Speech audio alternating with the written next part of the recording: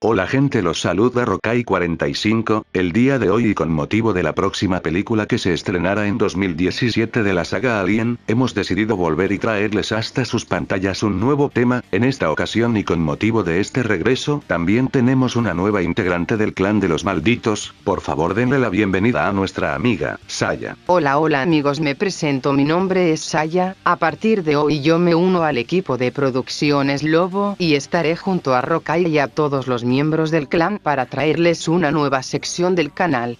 Criaturas de películas clásicas. Bueno sin más por el momento comencemos con el video. Criaturas de películas clásicas. Xenomorfos. Los alien o xenomorfo, llamado a veces incorrectamente xenomorfe, es un ente biológico extraterrestre parasitoide ficticio, antagónico de la tetralogía fílmica de la serie Alien, con apariciones en secuelas en cómics y videojuegos además de los crossover Alien vs Depredador. El diseño del xenomorfo se basó en la pintura Necronom cuarto del suizo H.R. Giger.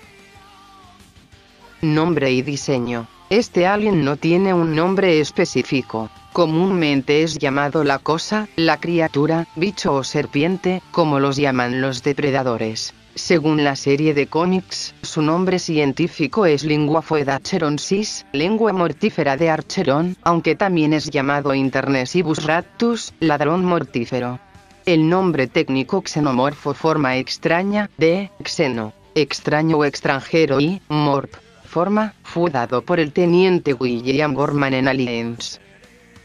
Historia. No hay un hecho sólido en cuanto a los orígenes de la especie xenomorfo, en cambio, hay muchas suposiciones, las cuales no pueden ser confirmadas ni negadas. Sobre la base de la limitada información que se tiene, la hipótesis más aceptada es que son una especie artificialmente creada. Los xenomorfos pueden ser el resultado de la manipulación genética por los Malakak, también conocidos como los ingenieros o pilotos del espacio, como un mecanismo de terraformación de unos 10 millones de años, pero al parecer salieron horriblemente mal. Esta teoría se ha torcido un poco por Prometeo, ya que crea una subespecie artificial, el diácono o proto-alien diácono. Otra hipótesis dice que evolucionaron naturalmente en un planeta muy diferente al nuestro. Otra teoría es que eran en realidad la raza más antigua y avanzada tecnológicamente de todas, pero una especie de plaga acabó con todos los adultos, dejando a los hijos delegados en un estado bestial. Los pilotos del espacio pudieron haber sido unos aliados cercanos, lo que posiblemente explique por qué los huevos de los xenomorfos estaban en la nave, transportándolos fuera de la peste o salvándolos de la extinción. Otras ideas incluyen que fueron creados por otra raza, tal vez los Yautja, Predator, como una presa final o por una raza conocida solo por nosotros como pilotos del espacio, como un arma biológica. No se dice específicamente que los xenomorfos sean nativos de LB-426, un planeta relativamente pequeño y desconocido, donde una gran cantidad de sus huevos se encontraron en la bodega de una nave abandonada de los pilotos del espacio. Nadie sabe si estuvieran usando los huevos para la investigación o como un arma biológica. Algunos dicen que durante miles de millones de años, la raza avanzada, probablemente los pilotos del espacio, controlaba gran parte del universo con los xenomorfos, pero fueron eliminados por ellos. Biología. Los xenomorfos son una especie de criaturas parasitarias, de las cuales poco se conoce. Su proceso reproductivo comprende varias fases. En la primera, la reina deposita una colonia de huevos, los cuales desarrollan en su interior la primera forma xenobiótica, Abrasacaras, una criatura con ocho extremidades, uno cola a modo de tentáculo, y un orificio por el cual introduce el embrión base en el huésped. Una vez detectado un huésped apropiado, el abrasacaras le introduce, hasta donde sabemos, por el tracto digestivo un embrión, que se alojará y desarrollará en el estómago. En función del tipo de huésped, el embrión base se desarrollará mezclando las características genéticas del propio xenomorfo y del huésped. Finalmente, cuando el embrión está listo para valerse por sí mismo, emerge abruptamente del cuerpo usado como huésped matándolo en el proceso. Inteligencia. Los xenomorfos parecen poseer una inteligencia más o menos similar a la de un primate típico. A pesar de que no demuestran un nivel de inteligencia humana como especie, como el razonamiento abstracto, la introspección y el avance tecnológico, su reina parece poseer perspicacia notable en su comportamiento social y la manipulación de la tecnología humana, como reducir el poder de la colonia LB-426 y operar un elevador. Los xenomorfos parecen tener un gran parecido con su anfitrión, aunque no mucho. Cuando un depredador fue infectado con el parásito, se convirtió en un predamorfo o predalien. La boca de un predamorfo tiene una boca extra con mandíbulas parecidas a las de un depredador. Los xenomorfos han demostrado tener pocas emociones, aunque no son completamente desprovistos de miedo, sobre todo por sus huevos también han demostrado que presentan dolor a través de gritos o chillidos cuando son atacados. En la literatura de Aliens, se ha sugerido que las criaturas tienen una inteligencia de colmena, o una conciencia colectiva dirigida por la reina, que puede volver a llamar y dar órdenes a sus guerreros, telepáticamente y con gritos en la serie de libros de historietas de Aliens, así como algunas novelizaciones producidos antes de la película Alien, indica que la reina madre xenomorfo comunica telepáticamente con sus anfitriones potenciales, a través de los sueños aterradores y visiones religiosas, dando lugar a la formación de cultos con el xenomorfo como una figura semejante a Dios. Esto es similar al culto de Cthulhu en la llamada de Cthulhu de H.P. Lovecraft. Esto se puede ver en Alien 3, cuando Golik es inducida por supuestos mensajes telepáticos de un xenomorfo capturado. En última instancia, lo lleva a soltarlo y deja que lo mate. Él lo llamó el dragón, y lo consideraba como un dios a través de la clonación en los acontecimientos que rodearon Alien. Resurrección, indicado en la novela, parece que la mente de los xenomorfos incluye una memoria de colmena colectiva de lo que pasa a lo largo del tiempo incluso a nivel genético. A través de las pruebas realizadas a ella en Ripley, se revela que la memoria del pasado de Ripley en la nueva generación de xenomorfos les permite leer y entender diferentes idiomas. Eventos en la colonia LB-426 y el Usmauriga destaca que la especie aprende por medio de la observación.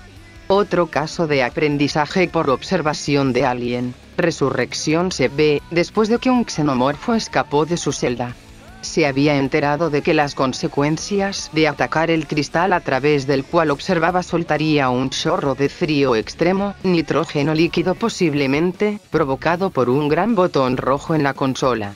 Cuando un miembro de la tripulación entra en la celda que había quedado vacía para estudiar el agujero a través del cual los xenomorfos habían escapado, uno de ellos entra en la sala de control y activa el botón con su lengua ataque. En el raro caso de que un xenomorfo se encuentra bajo ataque o vulnerable en caso contrario, muestra una increíble creatividad e inteligencia. Ellos son capaces de moverse rápida y silenciosamente en sistemas de ventilación, a pesar de su tamaño, y utilizarán dichos conductos para tender una emboscada, escapar, o simplemente como una manera fácil de viaje entre zonas. Los xenomorfos son conscientes de los efectos de la acidez en la sangre, y lo utilizan a su ventaja, para salir de una prisión, construida por el hombre, o como un arma. Ellos muestran algunas de las tácticas militares, como en retirada cuando están abrumados, y pueden encontrar maneras de evitar ciertos problemas, por ejemplo, aplastar el botón rojo para congelar un soldado en nitrógeno líquido.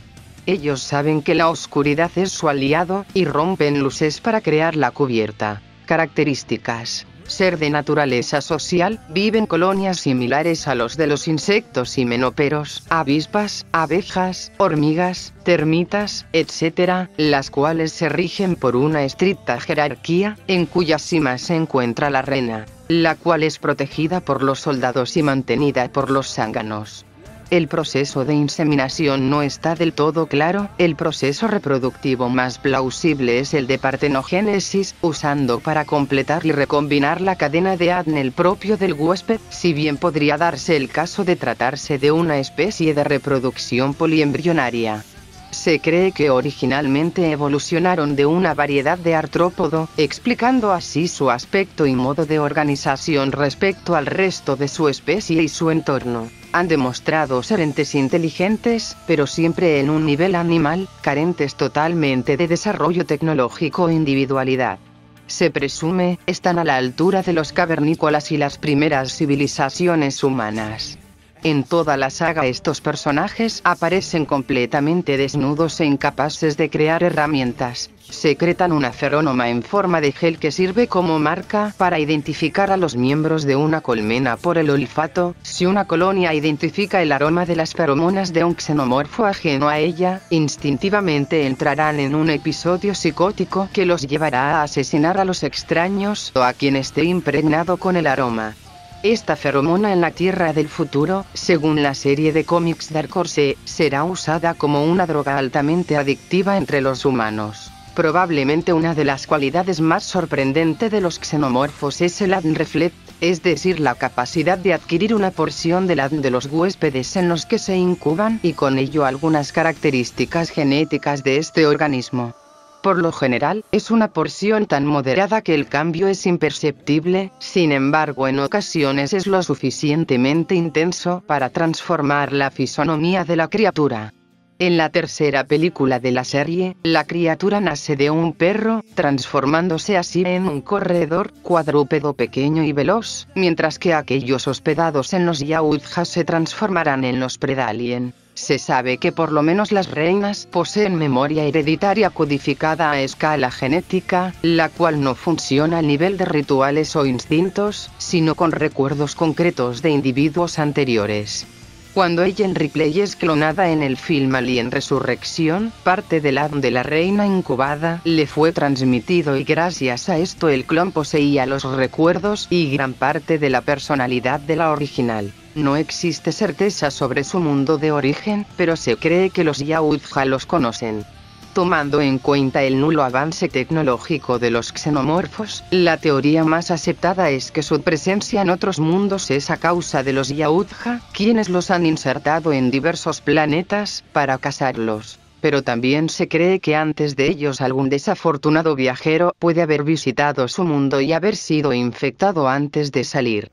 De todas formas, no hay que olvidar que esta teoría se basa en el crossover de las sagas Alien y Depredador, y que en ningún momento de la saga Alien se hace mención de otra raza alienígena como los depredadores. Estas teorías se vieron aclaradas con la precuela Prometheus, en la cual se desarrolló el rol de los Space Jockeys, la raza antropomórfica a la que pertenece la nave que aparece en Alien, el octavo pasajero y que contiene un número considerable de huevos de xenomorfos en su bodega de carga. Se presupone que esta raza alienígena es la responsable de la diseminación de los xenomorfos por diferentes sistemas planetarios, probablemente usados como un tipo de arma biológica para acondicionar nuevos planetas a las necesidades de los Space Jockeys. En el cómic Aliens, Estallido se muestra otra teoría en la cual dice que en el mundo natal de los aliens, ellos no son la especie dominante, sino un eslabón más de la cadena alimenticia de ese planeta.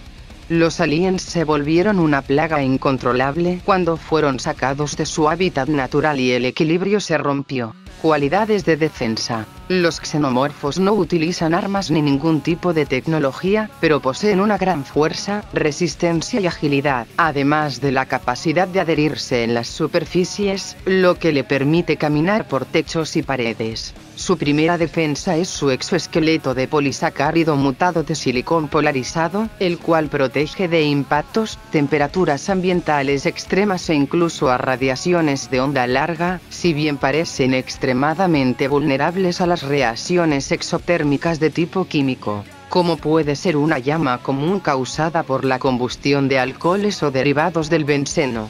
Los apéndices de sus extremidades terminan en puntas filosas que obran a modo de garras y aguijón. Mientras que en algunos especímenes se ha visto que su dureza se atenúa a medida que se acerca a la boca hasta obtener la flexibilidad de un par de labios. Emplean su larga cola como método de defensa y ataque, esta termina en una punta afilada, no todos la utilizan en combate, pero al ser usada es un arma de precisión letal y con la fuerza suficiente como para levantar con ella a su víctima una vez la ha atravesado. Su compleja mandíbula consta de dientes delanteros superiores o incisivos superiores similares a los de los humanos, junto a un par de caninos alargados. A simple vista los dientes de los xenomorfos no parecen estar compuestos de hueso con base de calcio como los de los animales terrestres. Tienen una apariencia platinada, y una notoria resistencia, capaces de romper materiales duros como metales o rocas. A pesar de esta poderosa dentadura, se suma una segunda mandíbula retráctil proveniente del esófago. Los xenomorfos pueden atacar con esta segunda mandíbula, sacándola a gran velocidad y golpeando con ella cuando están frente a sus adversarios, a modo de un pequeño ariete. Al parecer la utilizan principalmente para alimentarse. Algunos xenomorfos tienen la capacidad de lanzar una sustancia corrosiva por la boca. Los xenomorfos poseen un tipo de ácido desconocido en lugar de sangre como defensa final. Este ácido no es solo un método de defensa, los xenomorfos no poseen aparato digestivo, por lo que toda la materia ingerida por su organismo es disuelta por su sangre y transformada en energía, esto les permite alimentarse prácticamente de cualquier cosa.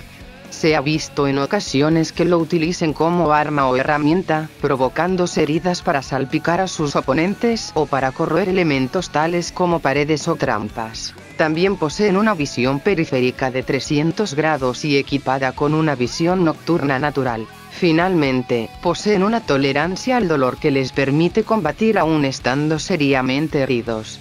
Si un xenomorfo ha perdido algún miembro o ha sufrido heridas su potencial de combate se verá apenas afectado.